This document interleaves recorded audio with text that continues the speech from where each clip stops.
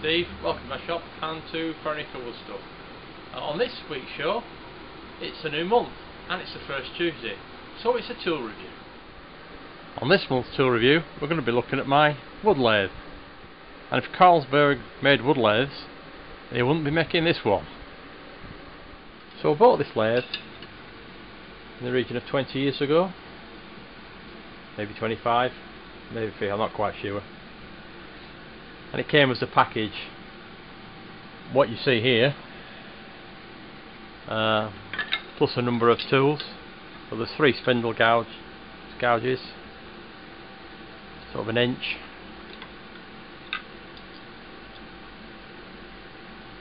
Five eighths. And a three eighths. Two dreaded skews. Uh, an inch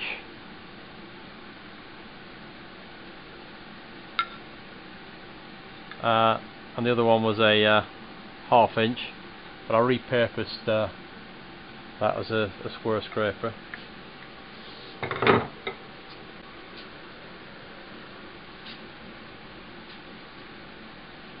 Round nose scraper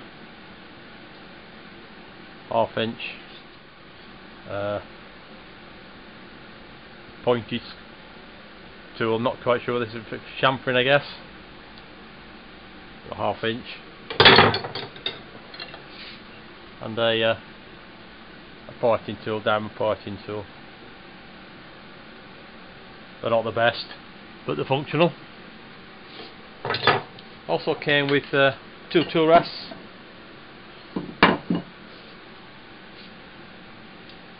small 6 inch uh, and a, a larger 12 inch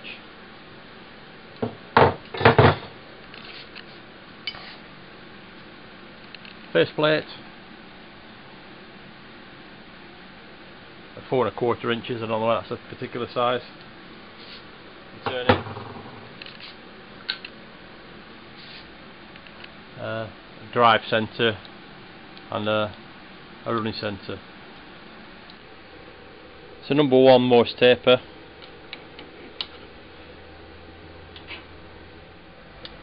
It's 240 volts. Uh, 13 amp plug.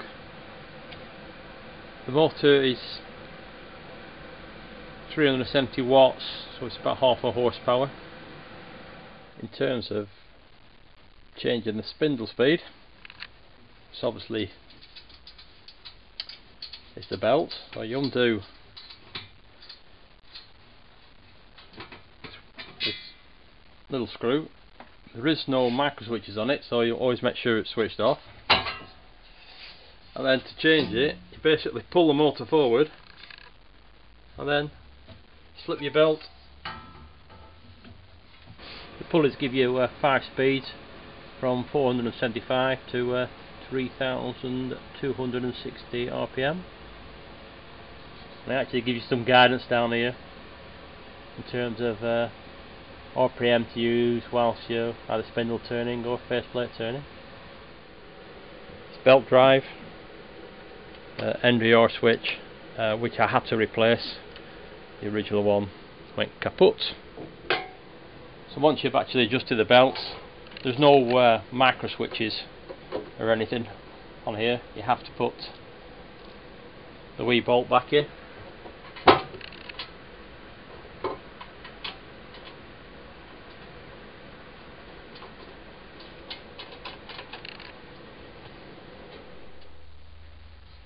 think you can do outboard turning it on it as well but I'm not no idea what you how you do that. Uh, but it comes through. It's got a left hand thread of the same pitch. I tend just to keep that cap on it to be honest. There's a spindle lock here.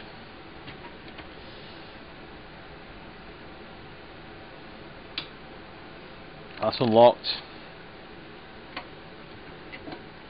and that's locked so when you're uh, putting face plates on and the like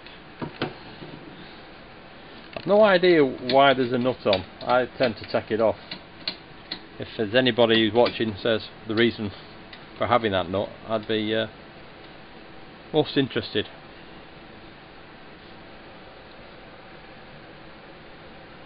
This is broke. So it, comes out. Not figured out how to uh, how it's held, so I just tend to put it in and uh, take it out. And it sounds like this when it's going.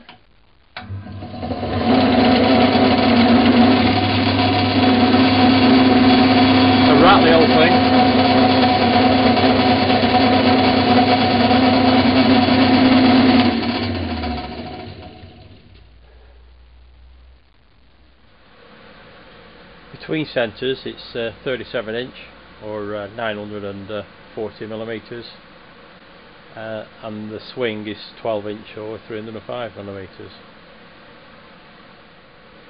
The bed is uh, a bar or a, actually it's a tube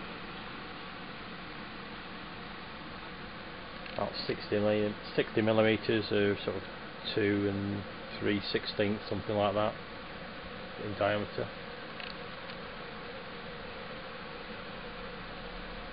You simply just screw down uh, on some blocks and then blocks are then screwed uh, to this workstation that I made. The banjo is in uh, two pieces. You've got uh, a sliding bed over the bar and then you've got this that can move in and out.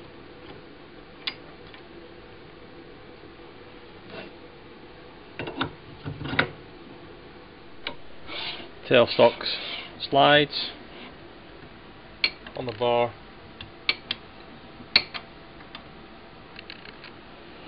And then you've got this uh, wheel that pushes the quill out. Or 2 inch so it's 2 inch of quill movement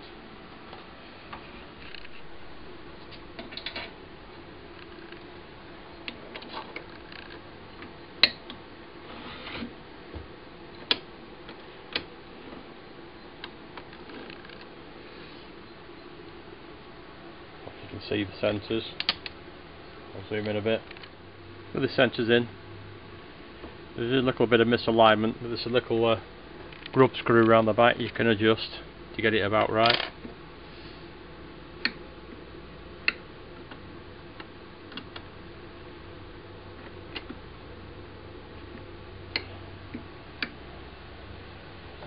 The tools are stored in these racks that's uh, homemade so addition to these tools. I've got a bowl gouge bought me for my birthday a few years ago. That's from Axminster. Of course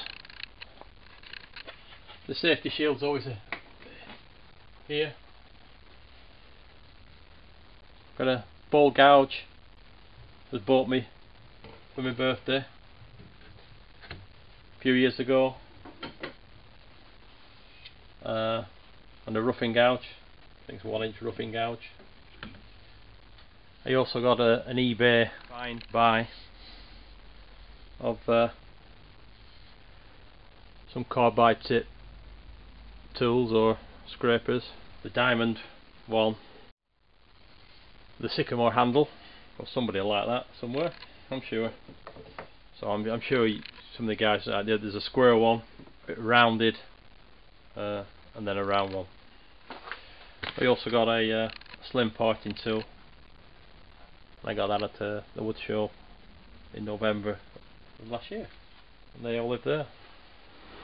Also on the lathe station is the uh, a grinding station for it, a whetstone grinder which is a, a Parkside is made by Grizzly. I've got a wet grinding stone and a dry one just within easy reach I've got an independent 4 jaw chuck that I bought for it.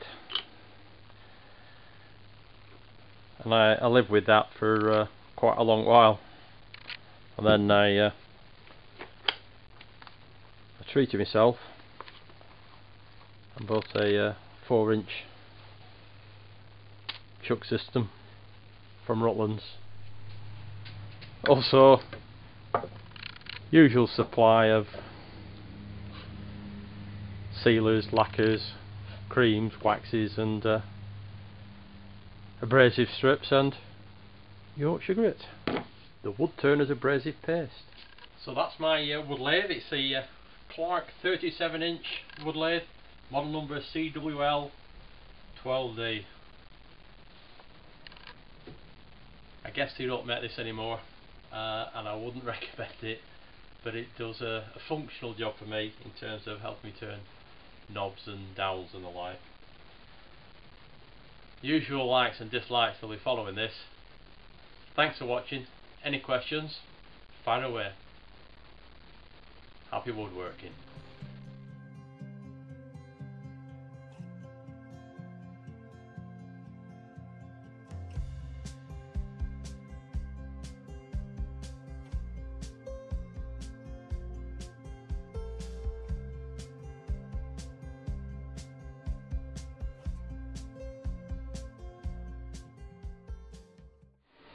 Forgot to say that this actually spent a good few years just in a box and I never used it, I never uh, really got, got to love it.